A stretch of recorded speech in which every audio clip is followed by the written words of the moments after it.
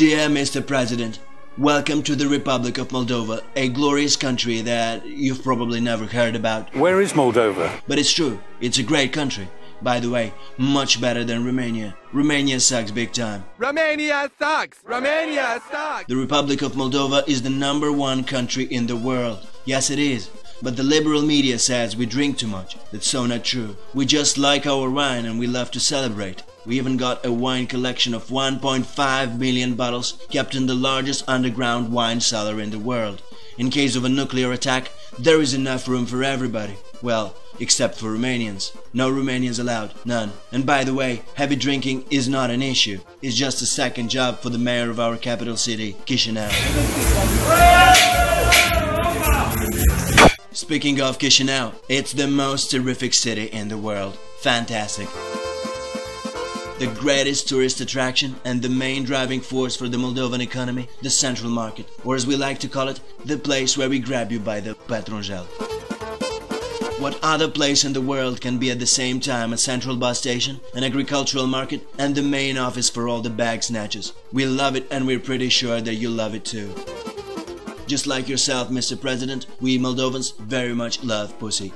Back in the days when Moldova was still great, we were under the bright rule of the Communist Party, and everybody, including kids in schools, proudly sang our national anthem. Isn't it great? Fantastic. On November 13, 2016, we elected Mr. Igor Dodon as President of the Republic of Moldova. Yes, you heard it right. This pro-Russian, misogynistic, homophobic, religious fanatic is the leader of our country for the next four years. Dodon is such a great guy, a good man, so strong, so handsome.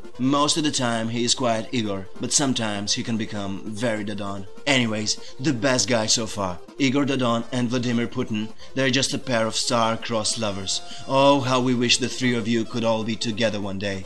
We heard you want to build a wall between the US and Mexico. That's great, that's just the best idea ever. But we, we don't even need a wall to separate us from Mexico. We are the Mexicans. Yes, we are. We are very good at construction and it's amazing how Europeans, they call us Mexicans. The Russians, they too call us Mexicans. The Russians also call us mules or Romanians, but mostly Mexicans. You have Kanye West, we have Tori Druga. You have Fox News, we have four TV channels belonging to one single man, who also happens to be the president of the ruling party. You have Macy's Thanksgiving Day Parade, we have Paștele Blajinilor, the best day to commemorate all the dead people by wearing jewelry and stripper clothes and drinking ourselves to death. Also, Moldova gave to the world a lot of famous people, like Dan Balan, Xenia Deli,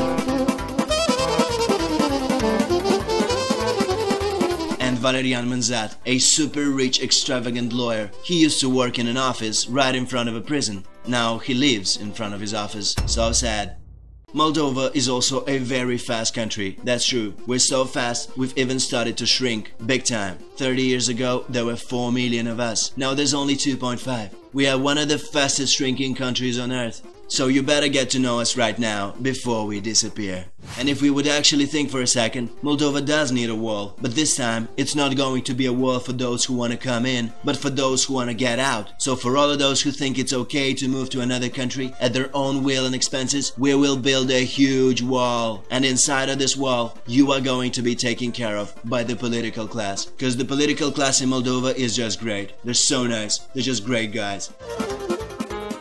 Mr. Trump, I hope this video convinced you that we need you.